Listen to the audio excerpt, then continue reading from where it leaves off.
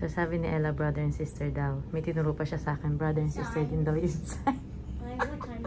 Brother and sister nga daw. Reason ba't daw sila dito nilagay sa room na to kasi brother and sister daw. Kasi brother and sister sila. oh, Ella. Brother and sister nga naman. Boring Wait daw. That's restroom, ate. That's restroom. It's either a boy or a girl can use it. Yeah. Both genders. Mm-hmm.